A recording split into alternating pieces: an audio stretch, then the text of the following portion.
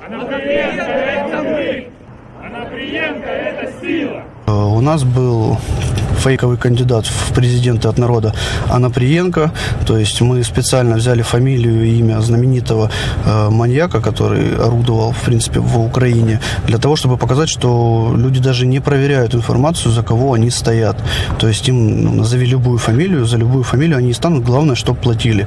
То есть нам звонили, куча звонков было в плане, да какая разница, какую фамилию называете, главное, чтобы вы нам по конце деньги дали.